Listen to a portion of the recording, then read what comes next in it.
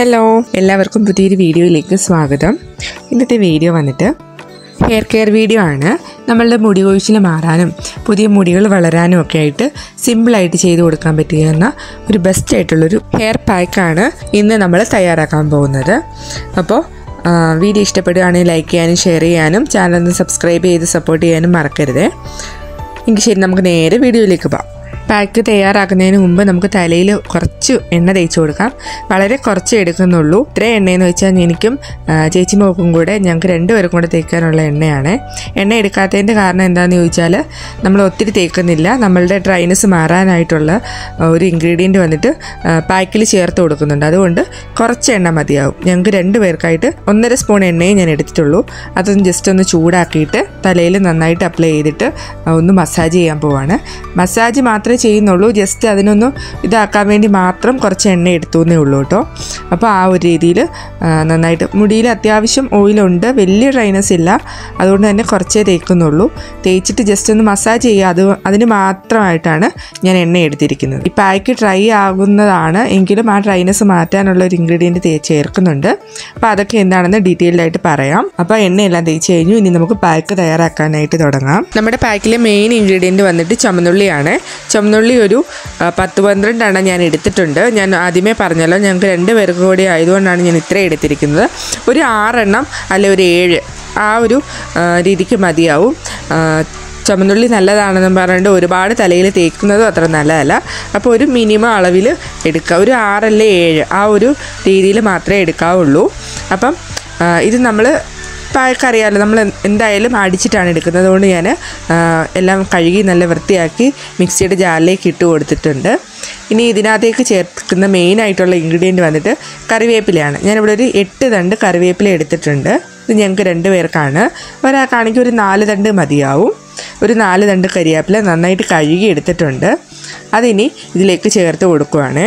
ഇനി നിങ്ങൾക്ക് കറിവേപ്പില ഇല്ലാന്നുണ്ടെങ്കിൽ ഒന്നുകിൽ മുരിങ്ങയിൽ എടുക്കാം അല്ലെങ്കിൽ പേരയിൽ എടുക്കാം അല്ലെങ്കിൽ ഇതിന്റെ മൂന്നിന്റെയും കോമ്പിനേഷൻ എടുക്കാം. അതല്ല എന്നുണ്ടെങ്കിൽ ഏതെങ്കിലും രണ്ടെണ്ണം ആണെങ്കിലും മതിയാവും.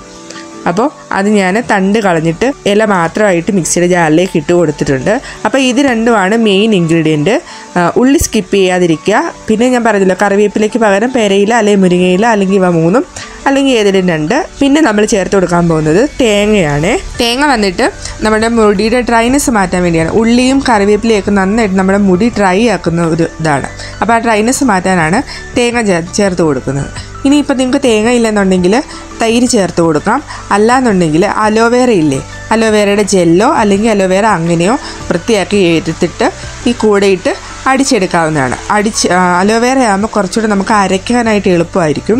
അല്ലാന്നുണ്ടെങ്കിൽ കുറച്ച് വെള്ളം ചേർത്തിട്ട് അരച്ചെടുത്താലും മതി. അപ്പോൾ ഇത് മൂന്നുമാണ് ഇന്നത്തെ നമ്മുടെ പാക്കിന്റെ ഇൻഗ്രീഡിയന്റ് അപ്പോൾ ഇതെല്ലാം കൂടെ നന്നായിട്ട് അരച്ചെടുക്കലാണ് അടുത്ത പണി. അപ്പോൾ ഇതാ ഇത് നന്നായിട്ട് അരച്ചെടുത്തു. കുറച്ച് പാടാണ്. കുറച്ച് എമൗണ്ട് ഉള്ളതുകൊണ്ട് മിക്സിയുടെ ഒരു വലുപ്പത്തിനനുസരിച്ച് കിട്ടില്ലല്ലോ. അതുകൊണ്ട് കുറച്ച് പാടാണ്. കുറച്ച് വെള്ളം ഞാൻ ചേർത്തിട്ടുണ്ട്. അലോവേറ ജെല്ല് എടുക്കാനുള്ള സമയം ഇല്ലാത്തതുകൊണ്ട് കുറച്ച് വെള്ളം ഒഴിച്ചിട്ടാണ് അരച്ചെടുത്തത്. നന്നായിട്ട് അത് അരച്ചെടുത്ത് നന്നായിട്ട് പിഴിഞ്ഞ് തുണിയിൽ അരിച്ചെടുത്തിട്ടുണ്ട്. അപ്പോൾ ഈ ഒരു രീതിയിൽ നമ്മൾ പാക്ക് കിട്ടും. കുറച്ച് നന്നായിട്ട് ലൂസുള്ള പാക്കായിരിക്കും. ലൂസ് പാക്ക് ആയതുകൊണ്ട് തന്നെ നമ്മൾ തേക്കാനായിട്ട് കോട്ടണോ അല്ലെങ്കിൽ സ്പ്രേ ബോട്ടിലോ ഉപയോഗിക്കാവുന്നതാണ്. ആ ഒരു രീതിയിൽ മാത്രമേ ഇത് തേക്കാനായിട്ട് പറ്റൂ. കൈകൊണ്ട് എടുത്ത് തേക്കുന്നത് അത്ര പോസിബിൾ അല്ല. കാരണം നമ്മളിത് കൂടുതലായിട്ട് സ്കാൽപ്പിലാണ് തേച്ച് കൊടുക്കേണ്ടത്. സ്കാൽപ്പിലോട്ട് എത്തണമെങ്കിൽ നമ്മൾ പഞ്ഞിയിൽ മുക്കി തേക്കുക അല്ലെങ്കിൽ സ്പ്രേ ബോട്ടിലാക്കിയിട്ട് തേക്കുക. അപ്പം ഞാൻ ആദ്യം ചേച്ചിമോളുടെ തലയിലാണ് തേച്ച് കൊടുക്കാനായിട്ട് പോകുന്നത്. ഒരു ചെറിയ പീസ് കോട്ടൺ എടുക്കുക. അതിൽ ഡിപ്പ് ചെയ്യുക. ജസ്റ്റ് ഒന്ന് പിഴിഞ്ഞിട്ട് അത് നേരെ കൊണ്ടുവന്ന് സ്കാൽപ്പിൽ നന്നായിട്ട് ഒന്ന് ജസ്റ്റ് ഒന്ന് അമർത്തി തേക്കുന്നതായിരിക്കും നല്ലത്. അപ്പോൾ ഒരു മസാജും ആവും. ഓ തലയോട്ടിയിൽ അത് നന്നായിട്ട് പിടിക്കുകയും ചെയ്യും. നിങ്ങൾക്ക് തണുപ്പിന്റെ പ്രശ്നം ഉണ്ടെങ്കിൽ ഈ ഒരു സമയത്ത് രാസ്നാദിപ്പൊടി നെറുകയിൽ ഇട്ട് കൊടുക്കാവുന്നതാണ്. രാസ്നാദിപ്പൊടി ഇപ്പോൾ ഇട്ടില്ലെങ്കിലും കുളി കഴിഞ്ഞിട്ടാണെങ്കിലും ഇട്ട് കൊടുക്കുന്നത് നന്നായിരിക്കും. ചേച്ചിമോക്ക് അങ്ങനെ തണുപ്പ് പ്രശ്നം ഇല്ലാത്തതുകൊണ്ട് ഞാൻ രാസ്നാദി ഇടുന്നില്ല. പാക്ക് അങ്ങനെ തന്നെ തലയിൽ നന്നായിട്ട് തേച്ച് കൊടുക്കുവാണ്. ഇത് നന്നായിട്ട് തലയിൽ തേച്ച് പിടിപ്പിച്ച് എത്ര നേരം വയ്ക്കാൻ പറ്റുമോ അത്രയും നേരം വയ്ക്കുക മാക്സിമം പോയ ഒരു അരമണിക്കൂർ അതിൽ കൂടുതൽ വെക്കരുത്. അതിനുശേഷം നന്നായിട്ട് വെള്ളം ഒഴിച്ച് കഴുകിക്കളയുക. അപ്പോൾ ഇതായിരുന്നു ഇന്നത്തെ കുഞ്ഞു വീഡിയോ. വീഡിയോ എല്ലാവർക്കും ഇഷ്ടപ്പെട്ടു എന്ന് കരുതുന്നു. എല്ലാവർക്കും ഇത് ഉപകാരപ്പെടട്ടെ എന്ന് പ്രാർത്ഥിക്കുന്നു. അപ്പോൾ വീഡിയോ ഇഷ്ടപ്പെട്ട ലൈക്ക് ചെയ്യാനും ഷെയർ ചെയ്യാനും ചാനലൊന്ന് സബ്സ്ക്രൈബ് ചെയ്ത് സപ്പോർട്ട് ചെയ്യാനും മറക്കല്ലേ. ഇനിയൊരു പുതിയ വീഡിയോയുമായി കാണാം. അതുവരെ എല്ലാവർക്കും താങ്ക്